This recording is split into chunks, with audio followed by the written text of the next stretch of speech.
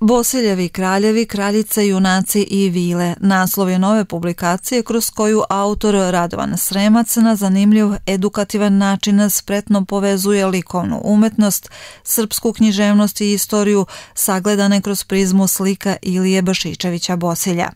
Knjiga obiluje ilustracijama, jasnim objašnjenjima i bitnim istorijskim činjenicama, a namenjena je deci starijoj od 8 godina, kao i odraslima koji žele da u svoje mališane uplove u uzbudljiv svet srpskog srednjeg veka. Povod je malo za mene poražavajuće, to je da velika većina dece kad dođu kod nas u muzej ne znaju ko je Marko Kraljević. A pošto ja pripadam generaciji koja je maltene svakog utorka pisala sastav kako zamišlja Marka Kraljevića, meni je to nezamislivo. A pored toga Ilija Bašičević Bosilj je uradio čitav ciklus sa motivima iz srpskih narodnih pesama i srpske, srpske srednjevekovne istorije i onda smo odlučili eto, da naučimo decu ko je Marko Kraljević kroz Ilijine slike, ali i kroz pesme koje su inspirisali Iliju da uradi te radove. E, međutim, ono što je u stvari kome je namenjena ova publikacija, to je i deci i odraslima. Da odrasli provedu decu kroz tu temu radeći na ovoj publikaciji, jer e, malo je rađena možda teško razumljivo za decu, u tom smislu srpske narodne epske pesme nisu baš za malu decu i onda su tu roditelji da posvete pažnje svojoj deci i da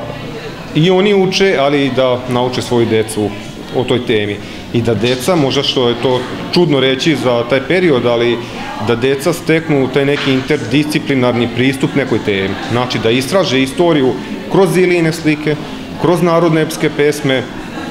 kroz zadatke ovaj, i ono što je bitno, mi u muzeju ne smemo da gledamo na decu kao na nekog ko će postati korisnik muzeja, ko će da dolazi, nego je dete već sad konzument kulture i mi moramo da prilagođavamo naše sadržaje detetu, da se dete osjeća ravnopravno u odraslom posetiocu muzeju. O biografiji poznatog šitskog slikara naive Ilije Bašičevića Bosilja i o sadržaju publikacije u prvom delu promocije govorili su učenici osnovne škole Branko Radičević iz Šida, dok su u drugom delu, pored autora, svoje viđenje ove knjige predstavile recenzenti Anđelka Radosavljević i Živka Komlenac. Ovo je zaista jedan primer e, nove metodologije, novog pristupa u radu sa mladima. Mladi jesu konzumenti muzeja, oni dolaze u muzej, dolaze prvo sa školama, organizovano, posle dolaze sami e, i ovo je jedan od načina kako ih privući i zainteresovati za umetnički fond e, koje baštini e, naš muzej. Ja toplo preporučujem knjigu zbog toga što je ona interaktivna,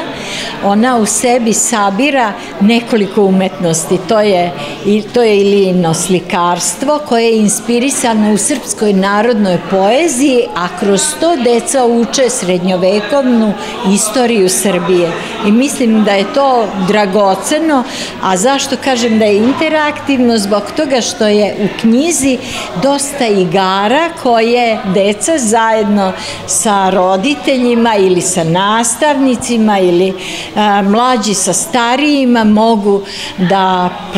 proigravaju i te su te igre zapravo omogućuju da deca sa lakoćom